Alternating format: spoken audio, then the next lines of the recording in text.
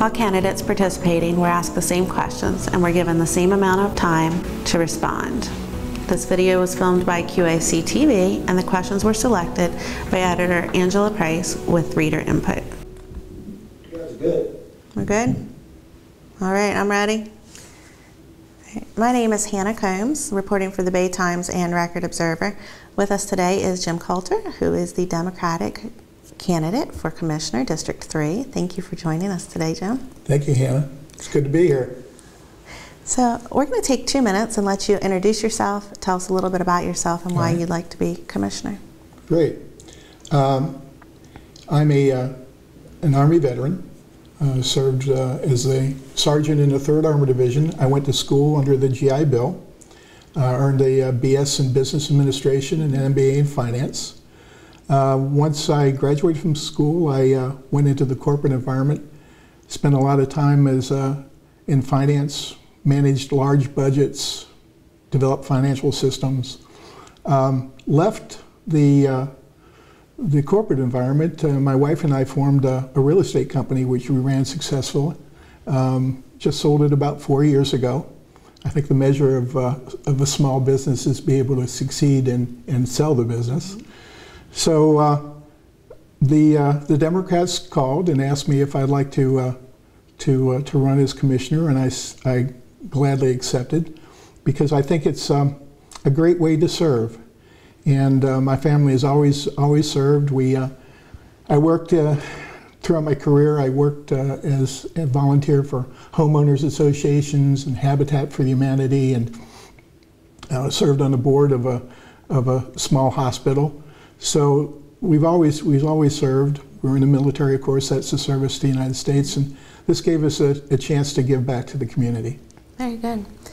What are your what are the biggest issues that you feel are facing the county uh, coming up this next term? Yeah, I, th- I think there are three major issues that that uh, that will get my focus. And when we go around and we talk to uh, to people, and I've probably shook the hands of maybe a thousand people at this point, uh, I think that they, they, they come down to traffic as a, is a major issue, as well as uh, as overdevelopment, and and education is a pretty significant issue that we need to we need to pay attention to. Okay. We're going to take a minute to kind of run through these next questions. And the first is the comprehensive plan. That's going to be updated in this next term. Yes. What is your vision for that plan?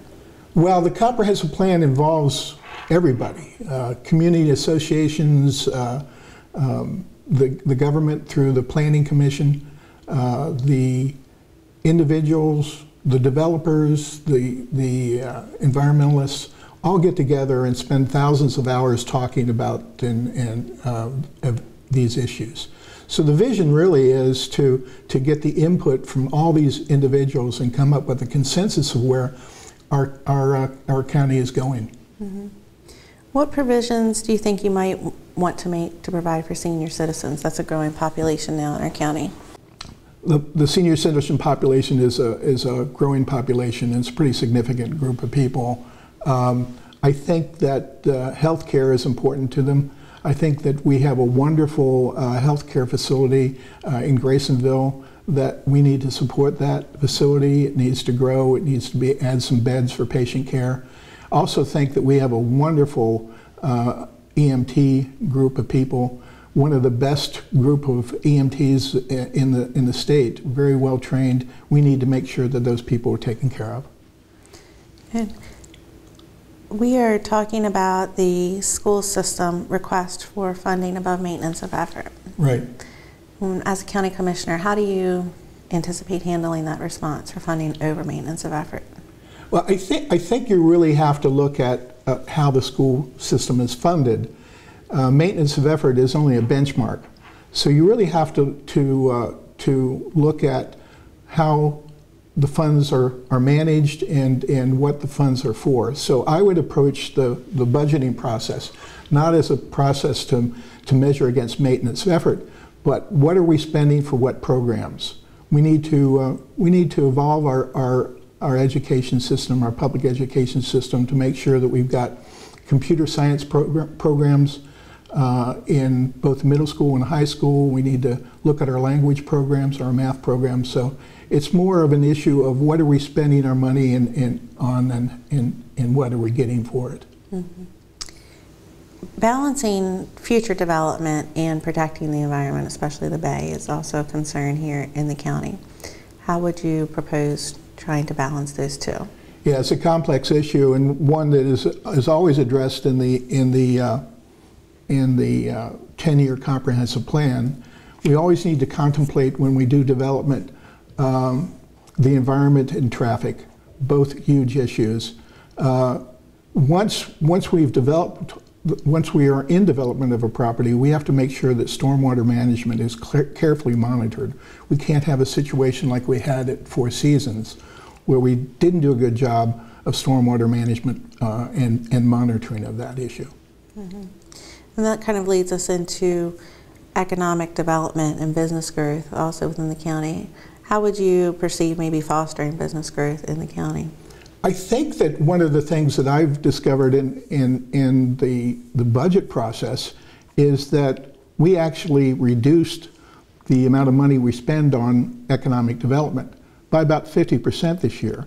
So I think the first thing you have to do is re- return those funds to the economic development team. We have to hire a strong economic development manager, and we have to work with the Chamber of Commerce in concert with the Chamber of Commerce to, to aggressively seek uh, uh, economic development in the county. Very good. Residents in the northern part of the county often say that they don't feel like they get the same level of services the rest of the county does. How would you respond to them? Well, I think, I think there's something to that. I, I think that uh, we need to commit to the county to, to, uh, to support those people. Uh, one, of, one of the big issues is uh, broadband access. Um, we've, we've got to get broadband access to the, the, uh, the northern part of the county. Are there any issues or topics that are uh, near to you that we haven't covered that you'd like to talk about? Well, I, I, I think the three issues are, are very, very important. That is, uh, make sure that we, we plan properly for the future. We can't have another Four Seasons. We can't have that kind of project. That project is too big and too close to the water. I think that, uh, that we need to look at, make sure that our kids' school is funded, funded properly, that they should get the best education that, that we can afford to give them. And I think traffic is, is an issue that everyone talks about.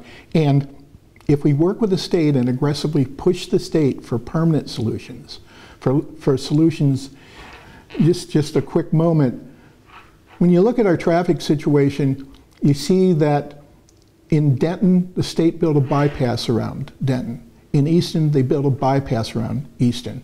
In Salisbury, they built a bypass around Easton. But they've done nothing to really uh, uh, uh, resolve the issue of, of overflow traffic onto our local roads. There are some solutions out there. We need to aggressively push the state to get those solutions in place. Mr. Coulter, thank you very much for joining, and we are happy to have you here today. Thank you, Hannah.